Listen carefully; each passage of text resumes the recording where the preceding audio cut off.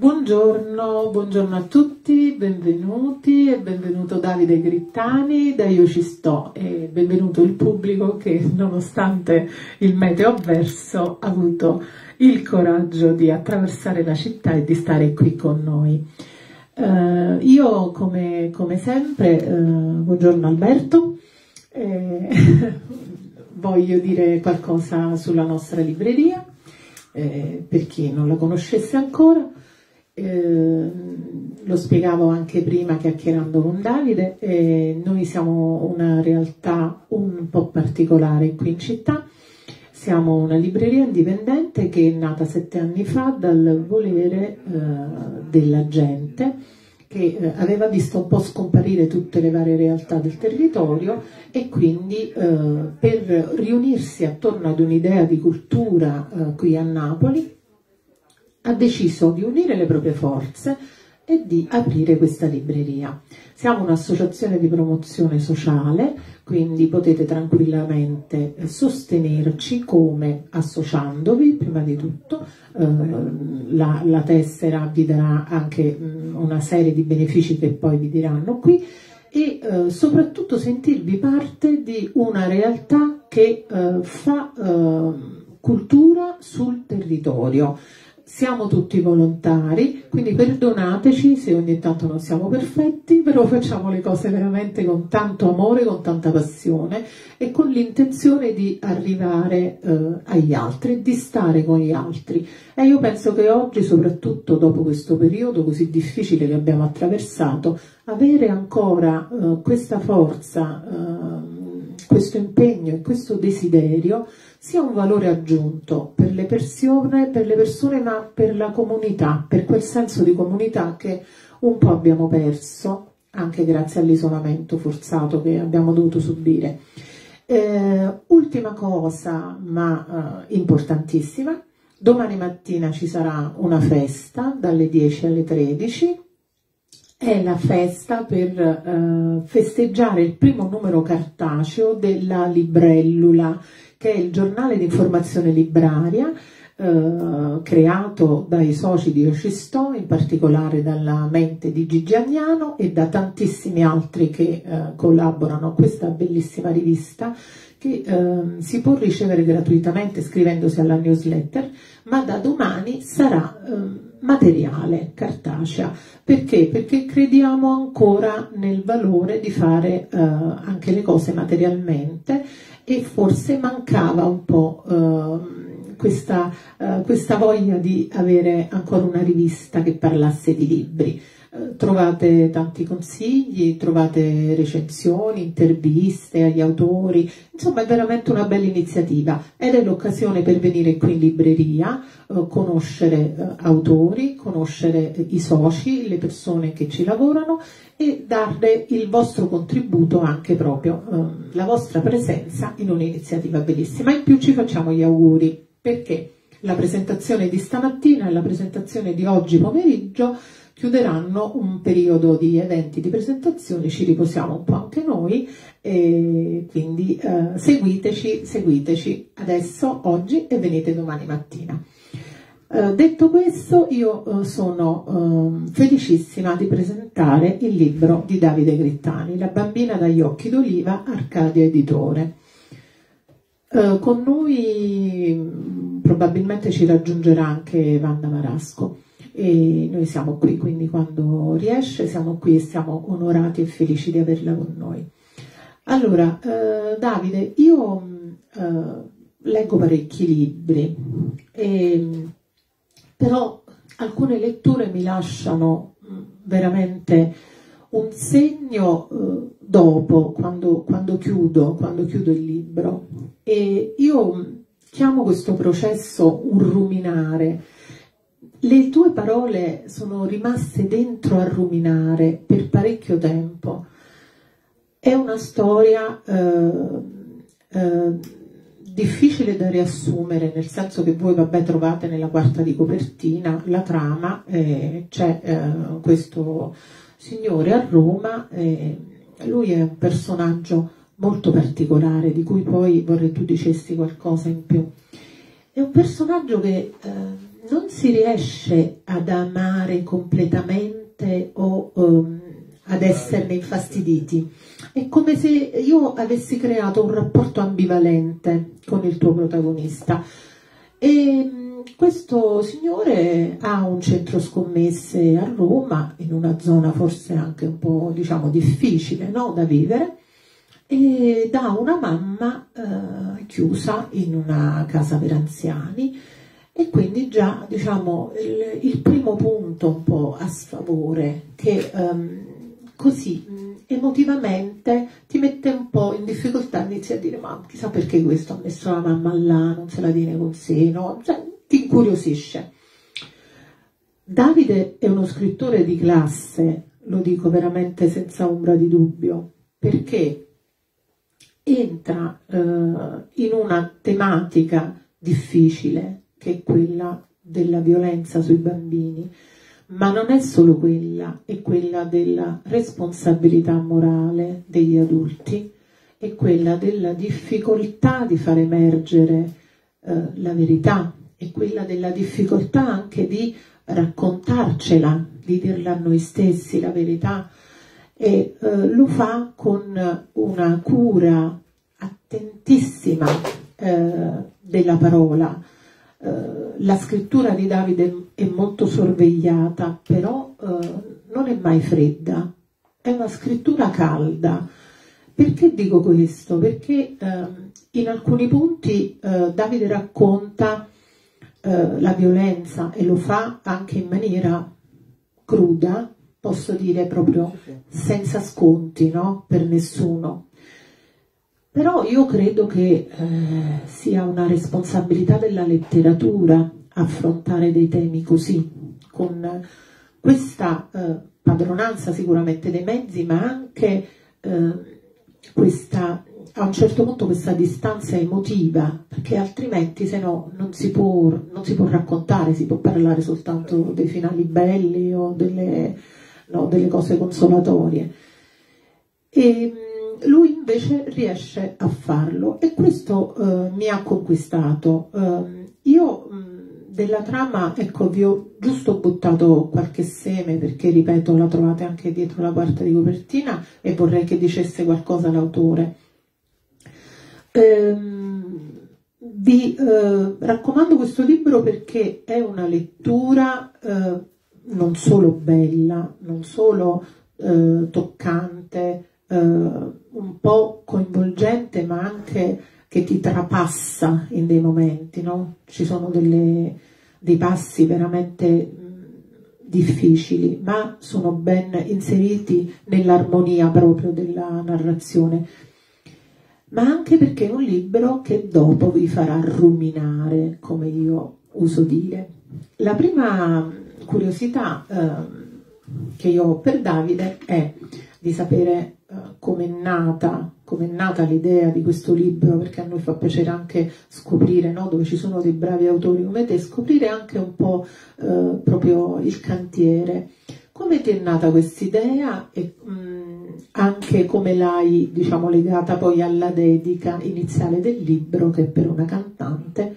Perché c'è anche un'attenzione poi alla musica oltre che alle vite delle persone.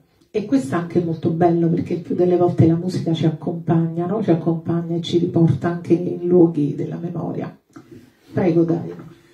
Mm, grazie intanto per essere, per essere, qua, grazie per la fiducia e per aver sfidato diciamo così, il maltempo. Mi fa particolarmente eh, piacere vedere anche delle facce amiche, insomma persone che rivedo con estremo piacere.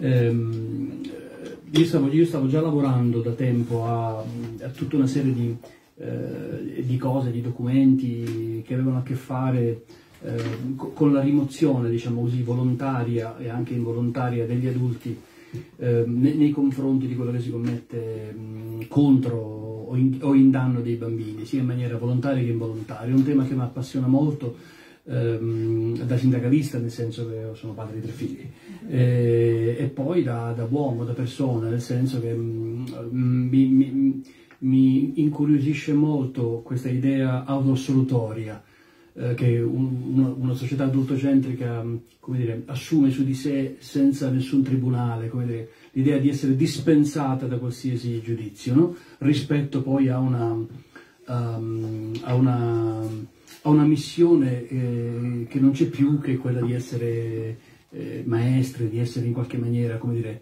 eh, dei, degli, dei, riferimenti, degli esempi per, per l'infanzia e per l'adolescenza. Io stavo già lavorando a questo, avevo ehm, dentro Uh, il chiuso, diciamo così, di, della bottega di cui scrive, i miei piccoli, dire, futili strumenti, cioè, nel senso che mi stavo bombardando di, una, uh, di, una, di, un, un, pezzo che mi serviva per scrivere quelle cose, si chiama uh, Zombie di, Cranberries.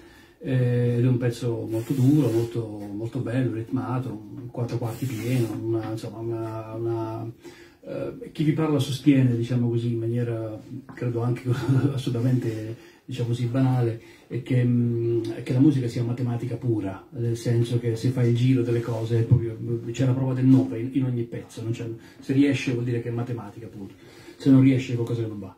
E, ehm, e quindi mh, mm, un algoritmo o qualcosa del genere mi devia su un'intervista della mamma di Dolores a proposito della morte della figlia avvenuto in circostanze eh, non, non, misteriose, non lo buttiamo sempre nel mistero, però insomma, eh, eh, quando sento queste parole in inglese, cioè nel senso, eh, capisco che, mm, eh, che, da quello che dice era successo qualcosa che io non conoscevo, dice che era tornata in qualche maniera nell'elemento naturale eh, da cui era venuta, cioè l'acqua, in qualche modo.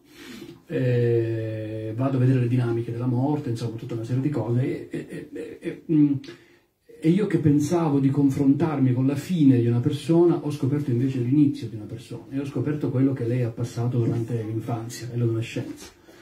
Ed è una storia feroce, terribile, eh, che si è ripetuta per otto anni consecutivi nel portone di fronte a casa sua. E, a, questa, e, e a, questo processo, diciamo così, a questa via crucis, a questo patibolo, ehm, ce l'accompagnavano i genitori, non in maniera consenziente, nel senso che non si sapeva quello che venisse in quel modo. E quindi ho capito che, che, che quello di cui mh, mi stavo occupando era straordinariamente uh, attinente, sostanzialmente sovrapponibile a quello che stavo già scrivendo, cioè nel senso che era esattamente questo, cioè l'omissione, non dico di controllo, ma di responsabilità uh, degli adulti nei confronti di quello che succede ai bambini. Eh, quindi avevo tutto questo in mano quando poi eh, una specie di lampo di genio, non, non, so se chi scrive crede a queste cose, io sì, no, insomma dipende da come mi fa comodo, diciamo in maniera piuttosto vile, però sì, eh, nel tour precedente, del, del precedente romanzo, ehm, eh, a Roma conosco, ho, ho l'onore, la fortuna di conoscere Dario Argento eh, e nel eh, prostrarmi, diciamo così, di, di, fronte a questo maestro, dico, guardi, io la volevo ringraziare umilmente per quell'opera di filosofia che è Profondo Rosso, non è un film d'orrore, è un'opera di filosofia straordinaria. E, lui mi dice, vieni qua, siediti. E, e, insomma mi racconta di questo episodio che eh, i suoi biografi, esegeti, insomma così, ritengono sia la base dell'ispirazione di Profondo Rosso, e cioè che nel 72, facendo dei lavori di ristrutturazione in un appartamento di via Crescenzio a Roma, cioè nel cuore del Rione Prati, eh, al settimo piano, che è poi il piano che ho scelto per ambientare questo romanzo, tirano giù la carta da parati viene, eh, dire, e scoprono il finimondo, cioè in tutte le stanze dei disegni di bambini, ad altezza di bambino, ad ampiezza di bambino, eh, che raccontano di violenza, di, di, di, di cose macabre. Indipendentemente, diciamo così, dalla matrice dei disegni, eh, lui me lo stava evidentemente raccontando perché chi di voi ha visto Profondo Rosso sa di quella scena in cui scorticando l'intonaco viene fuori il disegno, eccetera, eccetera.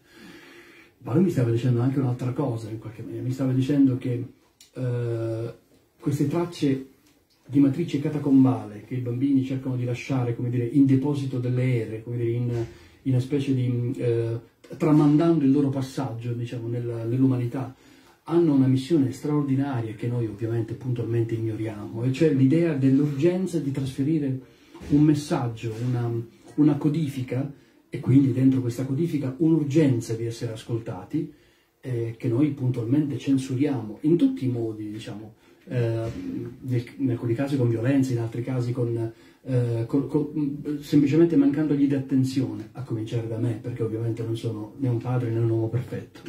Però questa idea eh, della censura involontaria.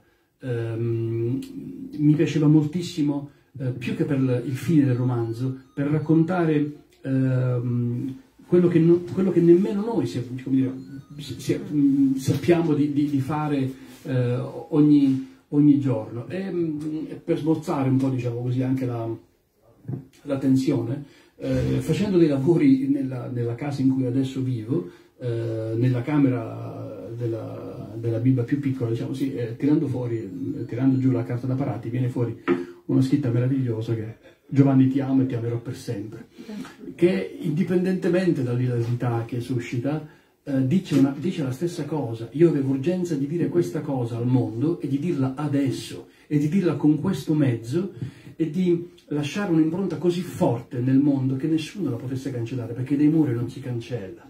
Ecco che cos'era uh, l'idea al centro del romanzo, cioè cominciare col fatto che delle persone durante dei lavori scoprano un disegno la cui matrice è misteriosa, la cui, uh, con, con, ogni probabilità il cui esecutore è un bambino o una bambina, e capire, inseguendo che cos'è questo disegno, che dentro quelle stanze è avvenuto qualcosa, qualcosa uh, che ha a che fare con tutti i protagonisti di questo romanzo, ma che soprattutto ha a che fare con quello che mh, mm, tenevo di più a, a dire, ehm, e cioè eh, che può sembrare, ma cioè, mi auguro, credo, cioè, questo non è un romanzo sulla pedofilia in, in, assoluto, questo è un romanzo sui sensi di colpa, un romanzo sui tarli più ehm, difficili da eliminare, su queste azioni su queste viti che, che, dire, che, girano dentro di noi in eterno, eh, che, hanno, che, non hanno una, una, patologia specifica o che non, hanno, diciamo così, che non presentano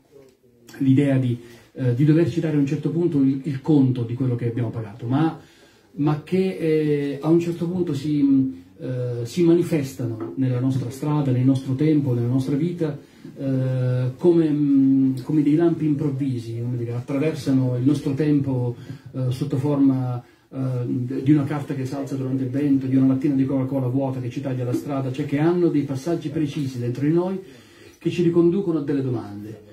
Se non avessi fatto questo, se avessi fatto questo, se non, avessi, se non mi fossi comportato in questo modo, se avessi fatto quest'altra cosa. Ecco, questa idea di non avere una, mm, una, una colpa maturata specifica eh, e quindi come dire una specie di, eh, eh di letto di morte da, da, in qualche maniera da assistere, ma un senso di colpa eterno che forse è anche peggiore, ehm, che non ha un, non ha un, un peso eh, fisico, ma che dentro di noi ha un modo di agire, di lavorare molto più subito e molto più violento. Ecco, io volevo scrivere un romanzo su questa cosa, sulle colpe che gli adulti non, non, non sanno nemmeno di avere, non sospettano di avere, ma che invece hanno cominciare ovviamente da me, e che invece hanno in maniera eh, drammatica, per darvi un senso, ehm, più, che, più, che, le parole, diciamo così, in qualche modo, eh, che, che, possa, che, possa, riportare le mie parole a uno spettro, diciamo così, vitale molto, molto vicino a noi, questa regione e quella in cui vivo, la Puglia,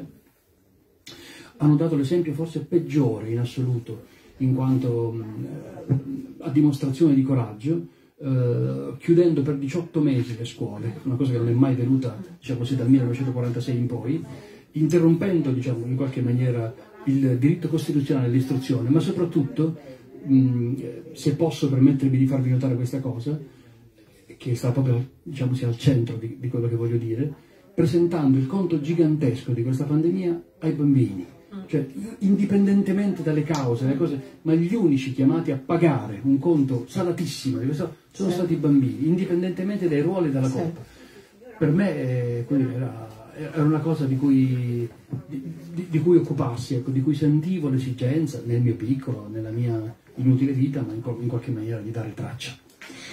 È bellissima questa cosa che hai detto perché eh, ci dà anche un po' il senso dello spessore che tu hai, hai dato alla storia e ai personaggi. Uh, Davide uh, riesce a indagare veramente uh, l'animo umano e ehm, lo fa anche mh, creando ehm, un, una serie di, di personaggi che gravitano attorno, che sono tutti significanti. cioè sono tutti importanti per il lettore. Um, Un'altra cosa che mi ha colpito è stata anche eh, la scelta dei nomi. Io penso che la scelta dei nomi sia una cosa fondamentale per chi scrive, quindi anche questo è una cosa che io ho notato. Eh, la mamma, eh, la mamma di, di, del nostro eh, Sandro eh, vive in una, in una casa per anziani che si chiama Le nuove stagioni e già questo è bellissimo, no? Perché è come se lui volesse dire eh, le nuove stagioni che sono, sono quelle di un'altra dimensione dell'età, un'altra dimensione esistenziale, di rapporti, no? E, è bello, mi è piaciuta questa cosa.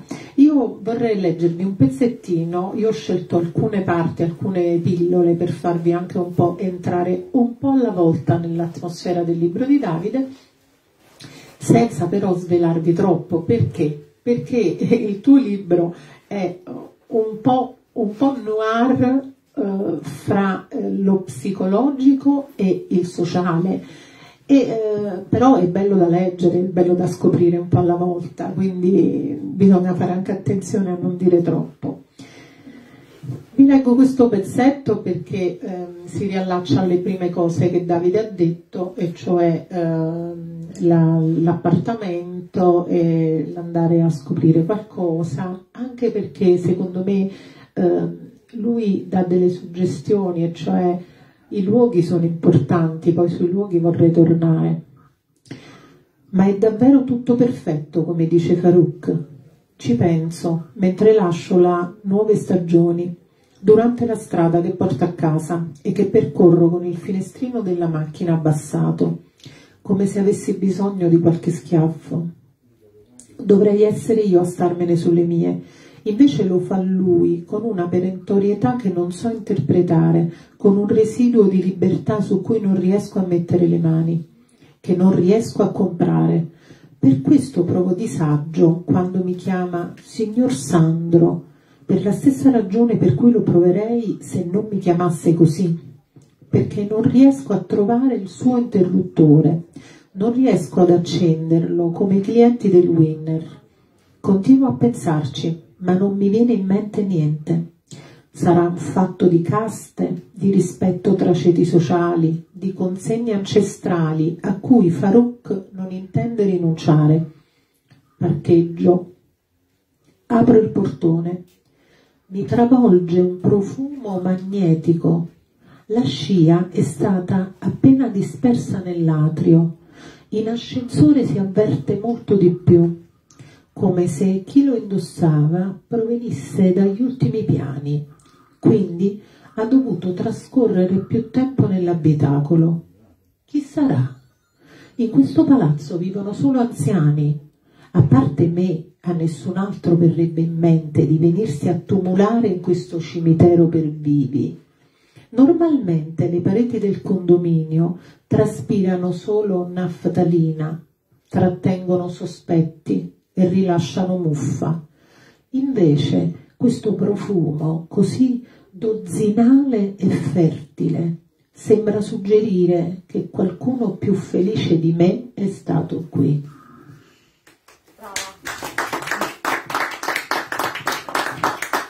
Allora, torniamo alle pareti, torniamo al condominio e qui siamo solo a pagina 19 e già, no, l'autore butta quel seme, perché crea anche un'atmosfera di mistero, il profumo, è dozzinale e fertile, perché dozzinale e fertile e di chi sarà?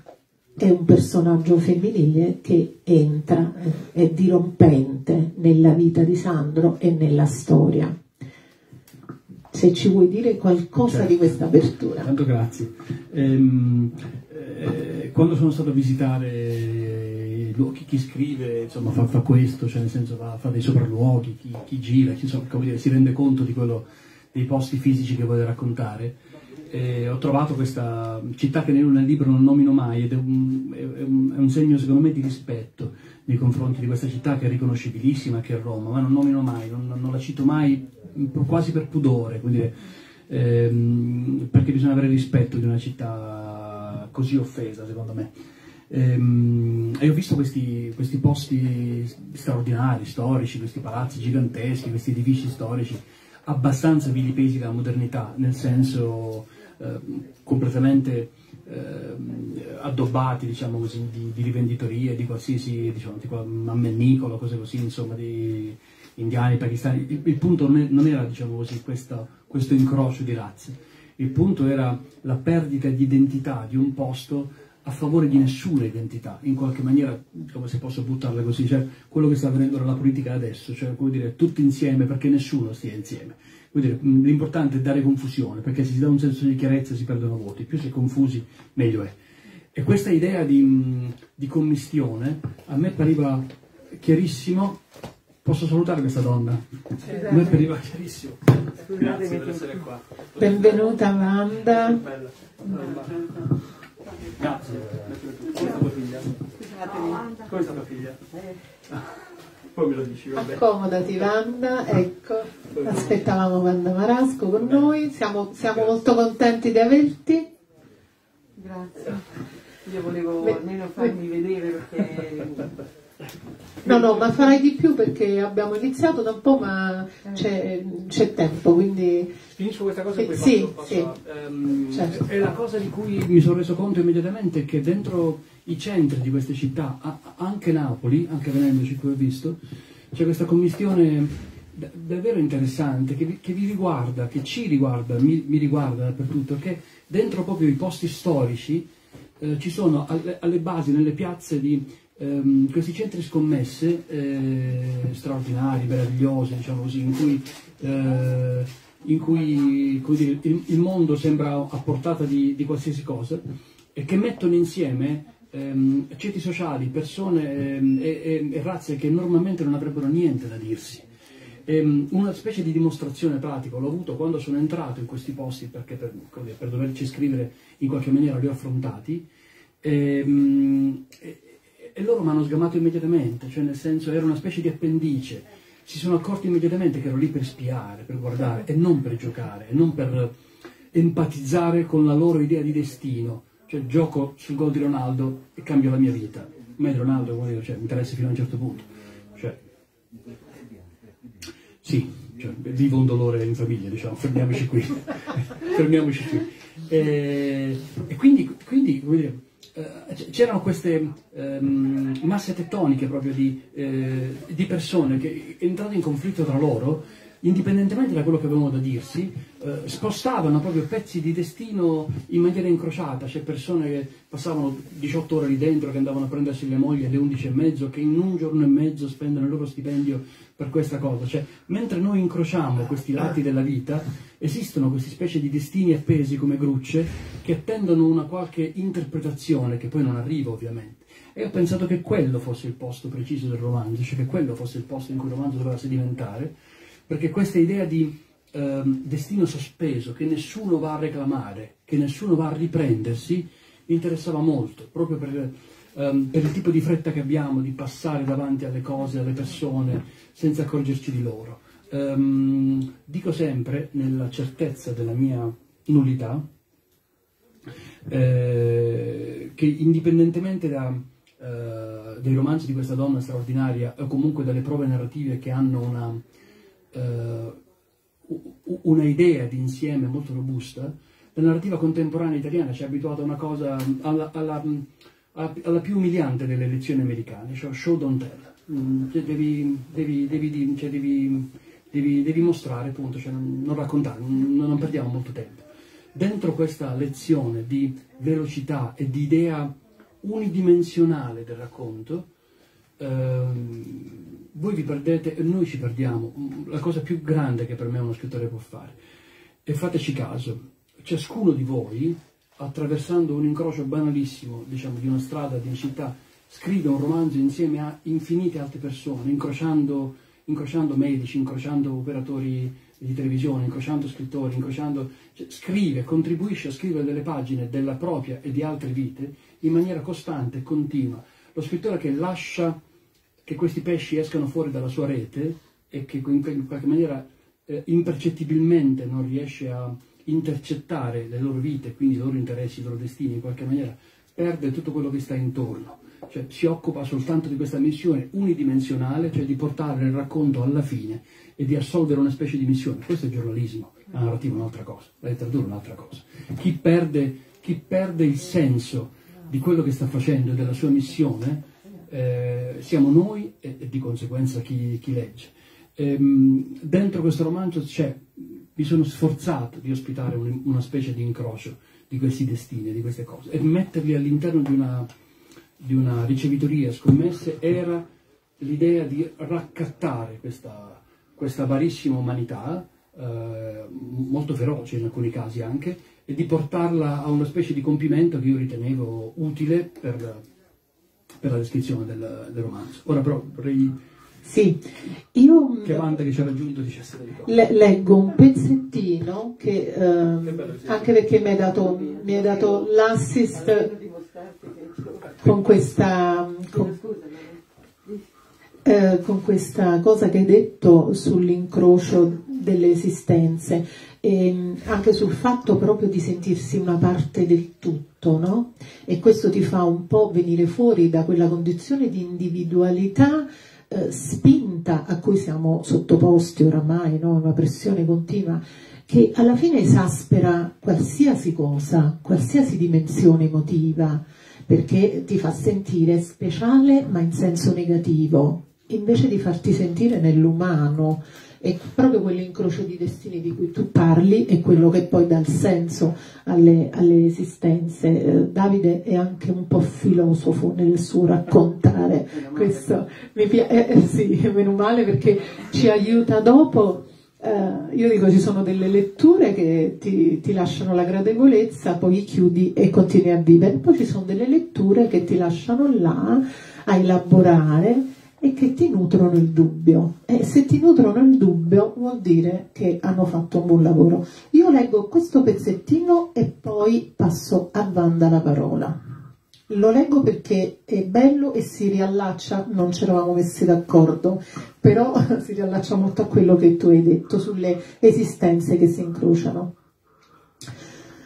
Facciamo la strada al contrario, scansando i palloncini della festa, aggirando le colline di coriandoli che a nulla servono se non a perimetrare brevi gioie, a ricordarci che la felicità al massimo si noleggia. All'uscita dalle nuove stagioni, Angelica chiama un taxi destinato all'altra parte della città. Io torno al Winner a piedi. Sembriamo sopravvissuti a un frullatore. Barcolliamo, ma gli angoli del ring ci impediscono di cadere, precipitati in un buco nero che non riesce a mentire. Vorrei non averla incontrata, questa sconosciuta che sembra così vecchia da aver già abitato nelle case di tutti. Vorrei non averla incrociata, questa straniera che ha viaggiato così tanto da conoscere i passaporti delle persone a me vicine. Perché mi giri intorno? Cosa vuoi da me?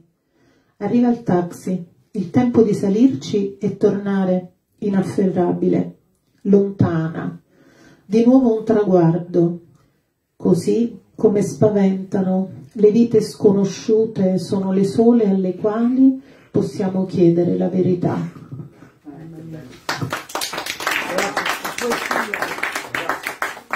È stato una, un assaggio della della lingua, no, penso che arrivi la voce, è stato un assaggio della lingua eh, di, Davide, di Davide Grittani.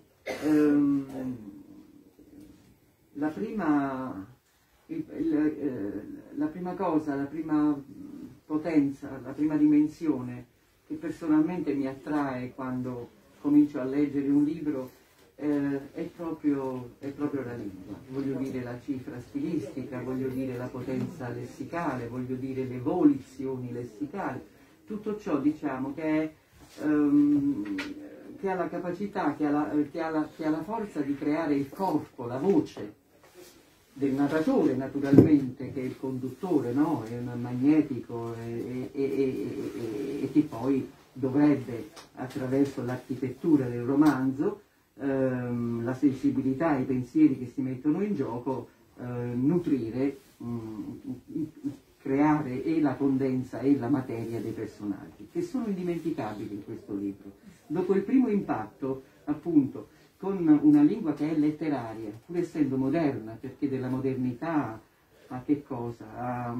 A, nostre, ai nostri guizzi, le nostre cadute, le domande, ehm, non, c'è, retorica, non c'è, enfasi, ehm, va dritto alla mente e al cuore, no? la, la, la, frase, il periodo. E, ehm, e, que- e mi sono trovata con, di fronte a personaggi che mi si, mi si, scolpivano, mi si scolpivano dentro, io non li ho dimenticati, ormai sono mesi che ho terminato la lettura di questi personaggi, ma tanto lui, diciamo, come si chiama il, il nome forse lo Sandro. Esatto, quanto la donna e gli altri, io non li ho dimenticati, sono scolpiti dentro di me. E perché? Perché mh, nel testo di, uh, di Grittani avviene quello che dovrebbe avvenire per ogni testo degno di essere, essere chiamato testo letterario. Lingua, dicevamo, cifra stilistica sicuramente una storia che sia capace di essere universale e, perdonatemi la banalità, ma di parlare anche a tutti. Quella che il buon, o non so come dire, Fofi, in un intervento a Torino alla Fiera del Libro, quella frase che, che Toti pronunciò e che ci riporta a quest'altro problema, eh, in un romanzo, se non c'è inquietudine filosofica, un pizzico, chiamatelo come volete, di poesia, nel senso della specchiatura, no? dell'umanità, nelle sue, nelle sue miserie come nelle sue illusioni, nelle sue tensioni. Non c'è romanzo. Il romanzo è.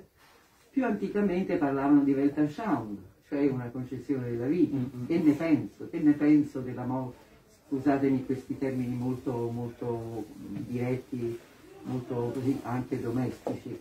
Che ne penso della vita, che ne penso della morte, che ne penso della malattia, che ne penso della corruzione, che se non viene fuori questo, questo e altro ancora. Ma perché leggerlo? Mi leggo una storiella ben congegnata, carina, che alla fine non mi lascia, non mi lascia altro, non mi ha fatto compagnia non è stata tensiva insieme a me, insieme alle domande che ci facciamo e per le quali qualche volta ci definiamo, certo. veniamo definiti esseri umani. E una cosa importantissima, certo da Dostoevsky a Kafka, gli inferni, gli inferni della condizione umana sono stati analizzati e descritti grandiosamente e noi continueremo ad andare dietro in qualche modo uh, a queste lezioni. E, mh, nel romanzo di Davide io vedo, voi parlavate di intreccio di destini, ma sono destini che si incontrano perché vengono già da un enfer semiconsapevole e nel momento in cui, e nel momento in cui cozzano fra di loro no? eh, si intersecano in qualche modo, si confrontano eccetera è l'inferno pieno che ciascuno porta, in un'osmosi completa di, eh, dire, di carattere eh, psicologico. Eh, e, che dalla psiche va alla storia, va alla città, va a quel luogo, la sala giochi, la casa, la casa di sopra. E, e, e si, crea, e si crea veramente, abbiamo veramente la dimensione del romanzo che non imita falsamente la vita, ma ne è un prodotto come un prodotto delle letture più amate, del pensiero, della capacità certo. creativa, della capacità creativa di Davide. L'ho trovato eccezionale oh. ed è per questo che sono qui. Eh, naturalmente non, non, ci sono qui le persone e che sanno che io mi muovo con molta difficoltà e è rarissimo. Fuori, è, è, è rarissimo. È rarissimo. Forse che ne so, stata forse la seconda volta in due anni che mi muovo, ma per, ma per testi come questo, Dio santo, che veramente fondano la, la letteratura, danno un senso all'opera, all'opera, all'opera scritta e sono venuta a dirvi queste, queste poche parole. La capacità descrittiva è enorme. L'introspezione, ripeto, psicologica è veramente profondissima, taglio profondissimo.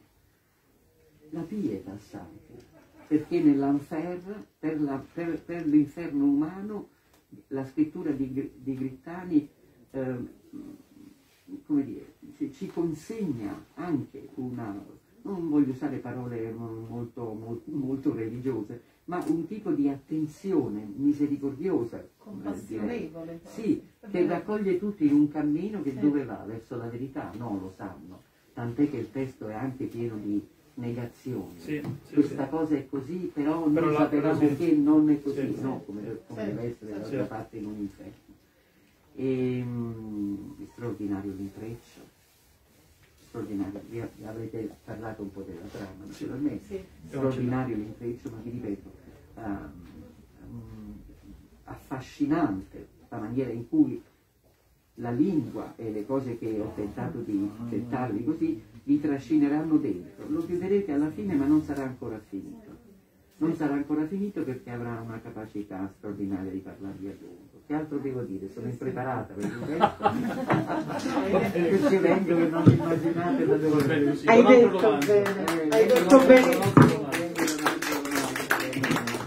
Hai detto benissimo e quest'ultima cosa che hai detto All'inizio io nel mio piccolo, da lettrice attenta, ho detto ci sono dei romanzi che restano a ruminare dentro. Questo è un romanzo che resta a ruminare parecchio, parecchio, per i personaggi, per l'atmosfera, per l'indagine e anche per eh, quel andare un po' a erodere certe piccole certezze di cui pensiamo, no? di poter vivere, di poterci infatti io non, volutamente non ho parlato di noir, ma tu hai detto il termine preciso, l'indagine, l'inchiesta.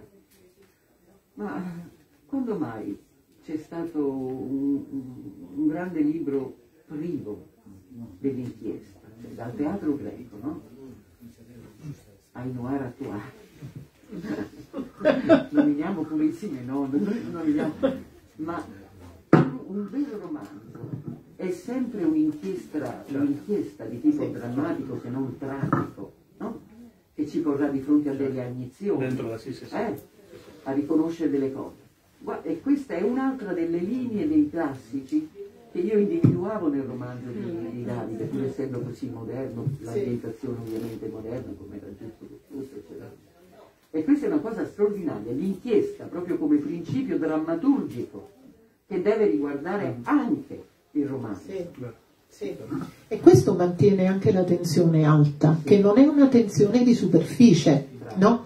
È una tensione di profondità e quindi il lettore, o perlomeno il lettore un po' più esigente, il lettore attento, coglie questa tensione e la sente, e la sente, e qui secondo me c'è anche la maestria del ritmo. Io, tu hai parlato molto dello stile, sicuramente anche della scelta eh, lessicale, ma anche proprio del, del livello letterario della lingua di Davide. Io direi anche del ritmo, perché Davide alterna delle pagine molto dirette molto scarne, che non fanno sconti, che dicono proprio la, la verità, no?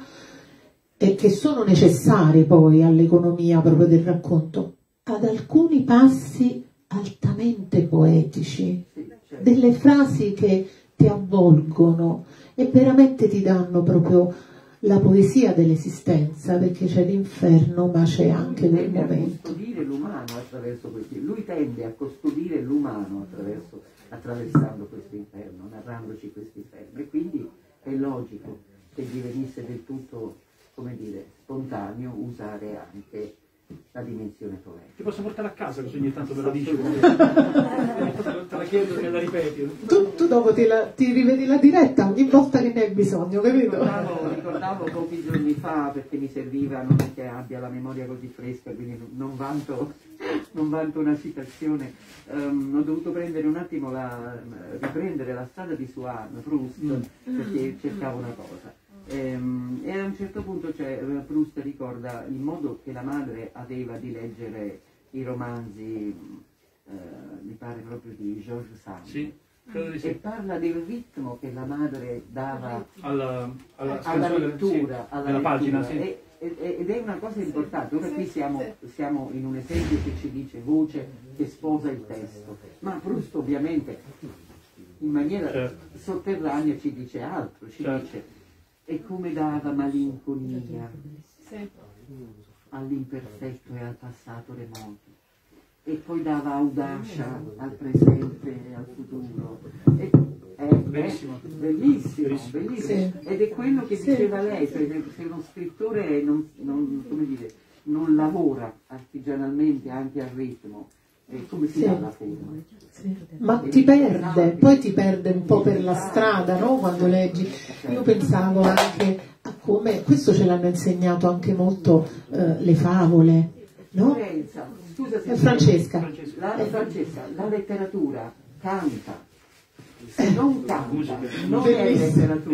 Ah. Hai io, ragione, hai ragione. È musica E, e così ha bisogno sia dei toni sia delle pause, che sono importanti, in poesia di più, ma nella, nella narrativa sono importanti e quindi quello che lui riesce a utilizzare è proprio questo equilibrio. E i, momenti di poesia arrivano come una carezza mentre tu stai leggendo e quindi hai quei momenti in cui ti schiaffeggia con la, la verità della storia, no? E lo- la vedi cruda, la, ve- la senti questa storia cruda sulla pelle e poi arriva quel momento di poesia che indubbiamente, come tu dicevi Wanda, fa parte dell'umano che ogni tanto dobbiamo riascoltare. Però Wanda ha detto una parola magica riportando Proust e non ci siamo messi d'accordo, vedi che si, si creano quegli incroci magici di cui Davide ci parla. Hai nominato la memoria. Questo è anche un libro molto importante per la dimensione della memoria, dei ricordi. C'è qualcosa che dobbiamo eliminare, togliere, cancellare, c'è qualcosa che dobbiamo mantenere e c'è sempre questo doppio movimento in noi, nella nostra vita, così come nella letteratura, Davide. Io credo di sì, nel senso che, che- che- che è un romanzo che lavora molto sulla, eh, su- sulla rimozione, diciamo così, mh, delle, delle cose che in qualche maniera eh, vo- vogliamo o pretendiamo che non ci appartengano più. Però queste cose, proprio perché eh, come dire, prescindono dalla nostra volontà, ci, rimangono, ci restano attaccati addosso. ecco. E, e questo è un romanzo che parla soprattutto delle cose attaccate addosso, come, come, eh, come, come quei frutti di mare in qualche maniera che restano sporchi anche se li laviamo tutte le volte possibili. E dentro quei residui diciamo, di sporcizia c'è proprio, come dire, per quanto noi per quanto a noi puristi, diciamo così, soprattutto occidentali, non ci faccia piacere, dentro quella sporcizia c'è invece la vera essenza della nostra vita, cioè se ci specchiassimo un po' più di queste cose forse riusciremo a capirla anche un po' meglio. Eh, questo romanzo che lavora sulla memoria ma che non ne, non ne diventa schiavo, nel senso che attraverso la memoria eh, cerca di capire quali sono le possibilità eh, di sopravvivenza. Ecco. A me piace molto una cosa eh, oltre alle cose straordinarie che terrò per tutta la vita, che, vi sta dicendo Wanda, eh, una cosa che mi ha detto Furio Colombo eh, su, su questo romanzo, che mh, a, a beneficio diciamo così, dei medici in sala, eh, che è un romanzo a rilascio lento, come le molecole che- dei farmaci che agiscono diciamo, dopo che le prese e dopo un po', dopo 5-6 giorni, cominciano a dare il loro effetto. E questa cosa mi sembra, in, una- in un mondo letterario che vive diciamo, di mordi e fuggi, mi sembra nel mio piccolo e utilissimo diciamo così, presenza nel mondo editoriale, mi sembra una, una bella testimonianza di, di- di quello che volevo fare. E poi, e poi una piccolissima cosa, che non è una specie di raccomandazione, però, che però mi sento di fare in tutte le presentazioni e soprattutto in questa a cui tenevo, tene- tenevo molto, per, per ovvie ragioni, per, eh, per- per Francesca, per Wanda e per voi. Ehm, si- siamo nelle condizioni paradossali, diciamo così, di dover in qualche maniera, non dico giustificare, e, e- e anche questo approccio, diciamo, quello che vi sto dicendo è un po' eh, imbarazzante, però io mm, come dire, confido molto nella vostra intelligenza, ma di dover mm, in qualche maniera motivare alcune audace. Um, ed è questa.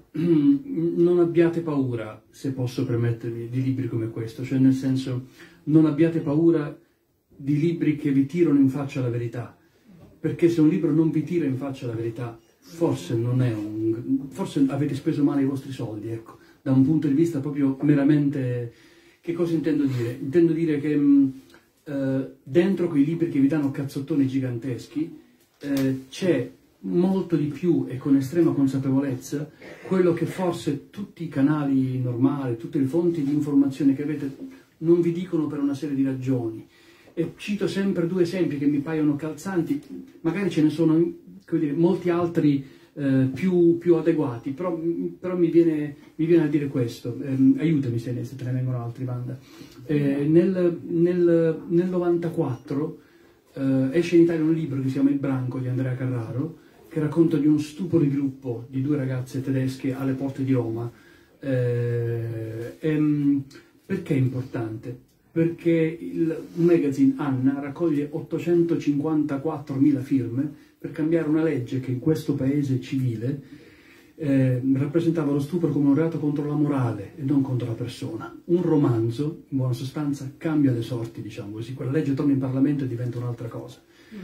È un modo per dirvi che i libri arrivano prima, i libri leggono la vita prima, ve la, ve la sottopongono e vi, e vi, testimoniano un cambiamento delle cose prima, molto prima della televisione, infinitamente prima del cinema, mo, moltissimo prima delle mode, delle cose. I libri vi dicono prima quello che avviene nella vita. Nel 56 esce una vita violenta e a un certo punto una serie, diciamo così, di mente, di cervelli dicono forse questa idea della borghesia tutto da un lato e del, e del, e del popolo tutto dall'altro, in urbanistica non, non serve più. E quindi sì. l'edilizia residenziale, forse che mescola le cose, le può migliorare. Mm. Il primo piano regolatore di Roma di Rutelli, come dice, in qualche, in qualche maniera cambia completamente le cose e mischia, e mischia il popolo. L'ha fatto un romanzo, un romanzo che è stato censurato per dieci volte e poi, come dire, è diventato un classico della letteratura italiana. E ovviamente nessun paragone rispetto a questo di scongiuro, non, non, non era questa l'ambizione, nel caso in cui avete, abbiate frainteso ve ne chiedo scusa, era solo un modo per dire e per giustificare in qualche modo di non avere paura di libri, non dico impegnati, ma che in qualche maniera passano, eh, diciamo così, il cordone di vigilanza eh, del buon pensiero italico-italiano. Eh, se un libro non vi prende schiaffi non è un, non, non avete fatto, diciamo, un grandissimo acquisto. Se invece vi lascia una, una specie di inquietudine con la quale continuate sì. a fare i conti per uno, due, tre giorni, probabile che l'autore abbia in qualche maniera, diciamo così, interpretato un'esigenza, un modo, un mm. tempo. E... Deve scorticare un po' quella parete, e, no? Come scorticano i tuoi protagonisti. E da questo punto di vista, dirlo accanto diciamo così, a, a, una finalista dello Strega, che in quello Strega andava, come dire, proprio, anzi, a, a turbare le, diciamo così, l'opinione pubblica rispetto a una serie di cose, mi fa infinitamente piacere. Eh, soprattutto perché eh, ci ho messo un po', ho fatto un po' di fatica, ma è passata l'idea che non sia un romanzo sulla pedofilia, ma, ma, ma su quello, um, sull'idea molto comune, molto più comune di quanto pensiate, um, che, che, serva per sopravvivere e girarsi per forza dall'altra parte. Invece da un punto di vista proprio di attenzione al mondo, uh, se dovessi assistere, non mi è mai successo, sono stato un lungo cronista ma non mi è mai successo, se dovessi assistere a un delitto, nell'esatto istante in cui avviene, va bene, diciamo così, dire, va, va, bene la parte, di, dire, la parte, fisica di chi commette, cioè, a me interessa moltissimo l'aspetto di chi guarda e non fa, infinitamente di più interessa, perché lo ritengo da un punto di vista del mio modo di intendere la vita e l'etica in esso contenuta molto più grave di chi spara, infinitamente più grave di chi spara. Ecco, questo volevo... Sì. Davide, questa è una cosa molto importante che io ecco, vorrei ri, rilanciare a te a banda. Eh, non è solo una, una, questione di giustificare o meno un certo tipo di, di libri e di letteratura, è proprio restituire una responsabilità alla letteratura, alle parole, ecco, E quindi diciamola proprio restituire la responsabilità e restituendo quel tipo di responsabilità alla letteratura perché le parole, le storie sono importanti, noi diciamo molto più di quello che c'è in una storia, restituisce anche un senso di responsabilità e di etica all'individuo. E questa è una cosa che tu hai detto, è importantissima, è una parola che è, vorrei sentire te e Wanda su questa ultima diciamo, suggestione. Io ho fatto dal, dal, dal, dal, nulla che sono e rappresento un piccolo intervento, intervento a Fahrenheit Radio 3, eh, rappresent, cioè, presentando il libro, ehm, e mi è venuta a dire una cosa che, che per me è abbastanza normale, cioè che io credo siano maturi i tempi affinché l'editoria in genere e gli autori recuperino un po' della etica del della loro missione e del senso della loro missione e la riportino in qualche maniera dentro questo, dentro questo mondo straordinario, meraviglioso, non proprio idilliaco, ve lo garantisco, eh, che è l'editoria. Mm, laddove non intendo, dire, una specie di, di, di censura, di, di di sbarramento, di, di gradimento rispetto a libri di evasione, no, assolutamente non è questo, ma l'idea che di deroga in deroga, di licenza in licenza, di sopportazione in sopportazione, eh, Luciano Tizzetto diventi un filosofo al posto di Umberto Eco, è una cosa che, che fa male innanzitutto a voi. E in generale, in generale indebolisce un'idea di paese, di pensiero, cioè di deroga in deroga, ehm, persone che vedete, come dire, il sabato sera a ballare, diventano romanzieri, va bene tutto, dire, non, in, in un'idea di un paese libero va bene tutto.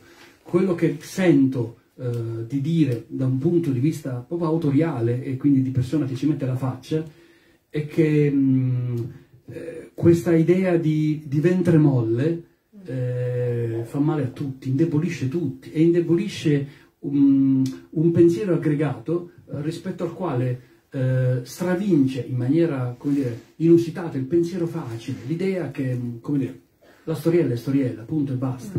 Vi do un dato rispetto a quello che ehm, tento di tradurre in parole.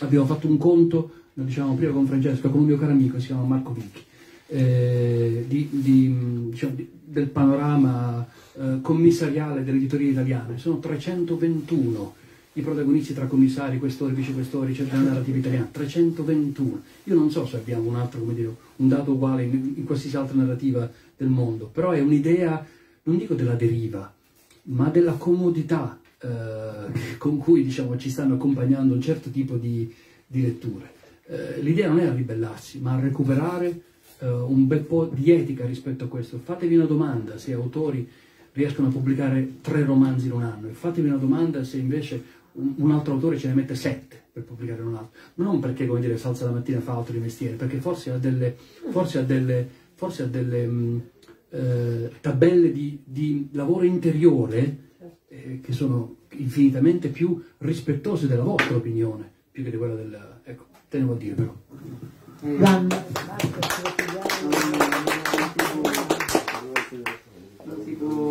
aggiungere tanto di. Voi apparentemente qui siete pochi, ma io spero che possiate diventare una cellula di trasmissione e portare ai vostri amici e ai vostri conoscenti uh, l'esperienza di lettura di questo libro che merita veramente di espandersi, di essere conosciuto. Quanto a quello che diceva Davide non, non posso tanto esprimermi perché sono sono in un periodo di vita in cui per me il gesto della scrittura sta diventando sempre più, non abbiate paura, eh, religioso, mm. ma nel senso della religiosità leopardiana, liturgica. Sì. sì.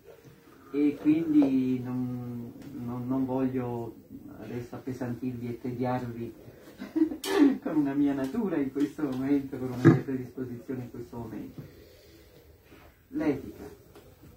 L'etica è l'atto creativo, ma dovrebbero essere congiunti come lo sono stati anche nei più folli, nei più maligni, nei più incattiviti artisti. Dovrebbe essere congiunta uh, dall'inizio, fin dall'inizio. No? approssimarsi, approssimarsi all'opera, eh, le due cose dovrebbero essere dis, disgiunte, Perché? Perché c'è una sorta di tenacia che chiamerei persino fede nel lavoro, poi c'è un'attesa, un'immensa paura di, di non farcela, di, di aver sbagliato. Di un investimento sbagliato. anche emotivo molto forte. Un investimento emotivo, sì. psichico e, e, una responsabilità certo. per, per chi la sente. Per chi la sente. E, e certo, i, tutti i generi dovrebbero esistere, ma con una capacità di distinguo da parte del pubblico. Ho avuto spesso l'impressione che mh, autori, autrici eh, vengano amati e inseguiti perché quello è il libro che somiglia a ciò che io stesso potrei fare. A quello che è più prossimo. A quello che è più vicino a me, come mie possibilità, come mio mondo espressivo, come mia esperienza, come come mio, mia eh, capacità, capacità, di comprendere, anche di cogliere. Sì. Eccetera. Che errore, stanno passando per capolavoro. Sì. Avete notato che si dice di ogni libro capolavoro, capolavoro, capolavoro. Sì, indispensabile. Ora noi non stiamo dicendo che il suo e il mio sono capolavori, io non l'ho detto non lo dirò mai perché occorrono perlomeno 50 anni di storia di distanziazione, sì. tranne alcuni casi felici che sono stati riconosciuti come capolavori quasi subito, ma occorre anche in questa confusione, certo. Assolutamente, c'è troppo assolutamente, assolutamente. E quindi, ma dico che se c'è un, un, un, romanzo che è un romanzo che appartiene alla letteratura, che fonda letteratura, questo lo è. Un romanzo che non, non tutti, non, né il calciatore, né la mia vicina di casa, né io, né l'attrice, né avrebbero saputo scrivere e lo riconosco che sono onesta, quanto onesto è stato lo scrittore nel momento in cui ha cominciato e ha sentito la responsabilità di consegnarci qualche cosa di necessario per se stesso e che poi ha ritenuto forse meritarsi un'esistenza anche sì. per gli altri. Ecco, questo è. Sono d'accordo Wanda e sono d'accordo con voi sul discorso della responsabilità. E in aggiunta direi, prendiamoci tutti la responsabilità di scegliere, perché anche questo è importante, un po' più di, eh, di critica, di coraggio, perché se va bene tutto, va bene tutto e diventa tutto uguale. Se invece noi eh, ci prendiamo proprio quella responsabilità di scegliere, di dire questo sì, questo no, questo per me va bene, questo non va bene, forse riusciamo mh, mm, a partecipare a quest'idea di etica e di responsabilità.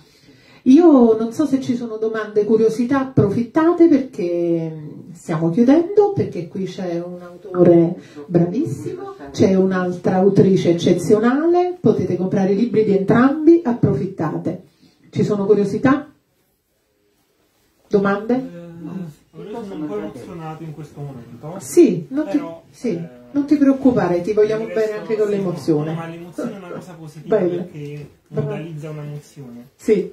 No, sono emozionato perché sono eh, molto ammirato da Wanda Marasco. Quindi...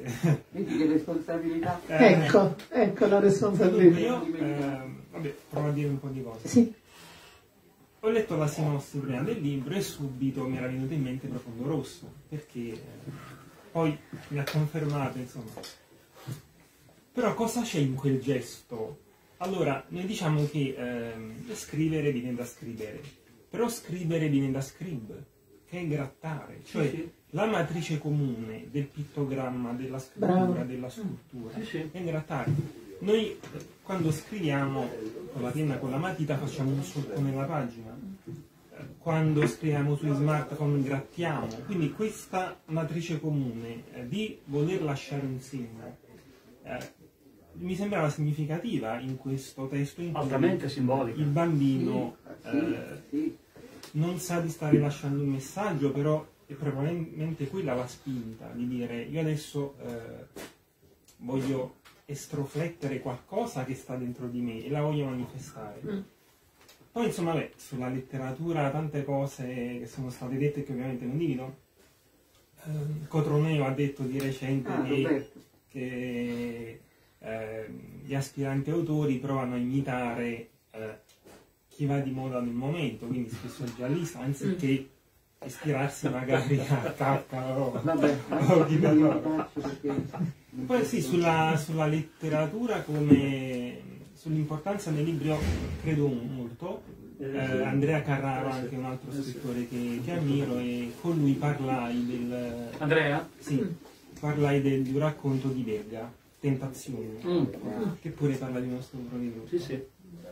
E vabbè, insomma, poi certo, ehm, il lavoro editoriale ehm, è complesso perché il libro, il libro gadget comunque un senso, eh, il libraio deve vendere, quindi insomma è chiaro, che, è chiaro che ci sono tante cose, tanti prodotti. Eh, sono d'accordo però sul, ehm, sull'onestà e anche di essere un po' più intransigenti perché è vero che di deroga in deroga poi si combinano i pasticci. Per me è una lotta eh, stare nell'editoria e come dire, respingere dei testi, approvarne degli altri, è veramente una lotta. Però vabbè, eh, insomma, Coraggioso. io sono Andrea Collano. Ah, va bene, ok. va bene. Va bene. Ok. Mi, sì, mi, mi permetto di dirti eh, grazie intanto, ehm, eh, di dire solo che la funzione diciamo così, del romanzo in cui i bambini lasciano eh, delle tracce eh, non in maniera casuale ma assolutamente di proposito, era un modo per dire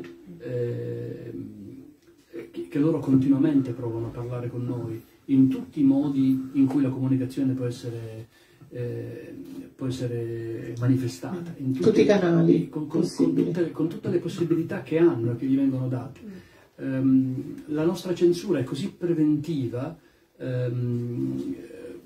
a cominciare dalla mia, ehm, perché se in qualche maniera dovessimo, diciamo così, renderci conto di questo vuoto assoluto, in quell'esatto istante si manifesterebbe la gigantesca dimensione del nostro fallimento, cioè del fatto che non siamo più esempi, maestri, riferimenti, che non, che non sappiamo più dire e insegnare delle cose. Ecco, anziché ehm, eh, ammuinarci, diciamo così, su questa, su questa realtà, preferiamo andare oltre, ignorare totalmente quello che c'è e partire da quel momento, da quel momento in poi, con eh, azioni, diciamo così, narcotiche, gli smartphone, eh, gli- i tablet, eccetera, eccetera. Cioè, stai qui, non ti muovere, io vado avanti, faccio la mia vita. Va tutto bene, nel senso che, eh, che Dio mi perdoni, lo, lo faccio anch'io e l'ho fatto anch'io. Il punto vero è un altro. Era dall'alto, eh, scusami, dal bassissimo di quello che faccio e rappresento, ehm, un solo strumento a chi scrive. Io avevo questo per poter in qualche maniera dire scusa ai bambini o dire, all'infanzia verso le quali stiamo facendo, producendo dei danni inerrabili. Avevo solo questo strumento, quindi in qualche maniera era quello di dire scusa eh, per, per tutto quello che diciamo sì, non ho fatto in tempo a vedere o che in qualche, in qualche circostanza non ho voluto vedere. Ecco. Non, cioè, non- non mi sottraggo, non mi salvo da questa deriva eh, gigantesca, questo volevo. Grazie, grazie Davide. Eh, grazie a Vanda Marasco, grazie a tutti voi, grazie a Davide Grittani, la, eh, la bambina dagli occhi d'oliva, eh, Arcade Editore, grazie per questo, per questo incontro bellissimo. Davide, vorrei chiederti una cosa. Sì, Ehm, io sono un po' egocentrica quando leggo, quando trovo la mia vita in un libro. Va Ah, bene? bello, eh? Ok. E ti chiedo. Perdonatemi se Sì, se. Sì, sì, salutiamo un attimo così. Telefoniamo al telefono, manda. Eh sì, ci siamo. Grazie. Grazie a te Vanda. Ciao, ciao. Grazie passato. Grazie. Ciao, finite. io, io ti chiedo, Grazie, Wanda. sinceramente, perché qui ho avuto una botta di verità, la verità che tu hai, hai nominato prima, no? L'Alzheimer e tutto? Quella storia di Angelica. l'Alzheimer. Allora, a mia madre, che forse ha ritrovato un pezzo di memoria, a lei, che potrebbe ricominciare senza scansare altri fantasmi, a me, che annego nella nebbia. da dove hai preso poi la forza per continuare a scrivere e quanto tempo ci hai messo? Dato che io mi sono inchiodata sul divano e mi sono annullata completamente nella nebbia. Tu per continuare la forza da dove l'hai presa? Perché qui è, è, è praticamente è, è poesia. E Grazie. Io, io Grazie. mi soffermo solo quando incontro la Grazie poesia in un libro. Eh, il libro l'ho scritto in tre anni eh, ed è un tempo più o meno più o meno onesto, diciamo così, per chi vuole impegnarsi in una cosa così, ma c'è gente che lo scrive anche in meno, cioè nel senso dipende anche molto, da- di- dipende anche molto da- dalle, dalle- dalla frequenza, da come... dopo una cosa del genere ci vuole tempo. Nella fattispecie io, io vivo un'esperienza diciamo così, personale di mia madre che in qualche maniera non ha, non ha una forma di demenza ma una forma di, ehm, di- di distacco diciamo così dalla memoria ehm, che Dio le, le- voglia bene, straordinariamente letteraria, nel senso che poi in qualche maniera diventa marchesiana, cioè si, si ricorda delle cose di cui si vuole ricordare e si dimentica delle altre, quindi in qualche maniera, e quindi, quindi in così. qualche maniera così. E c'è questa piccolissima mh, finestra di Marquez che è straordinaria nella sua, eh, nella sua mh, eh, feroce eh, poesia. Eh, la gente non, non muore quando deve, muore quando vuole. Eh. E che mh, è un modo di, di dire che c'è un modo di distaccarsi dalla vita, diciamo così, in maniera del tutto autonoma, di cui noi non ci rendiamo conto. Ci sono proprio delle- degli strappi dalla, dalla vita degli uomini e dalla terra degli uomini di cui noi non ci rendiamo conto, andando avanti, poi proseguendo per molti anni, eccetera, eccetera. Però c'è un momento, c'è un kairos, diciamo così, ehm, che, che- che difficilmente riusciamo a individuare. Grazie. A te, grazie per tutto. Grazie. Grazie, grazie a voi.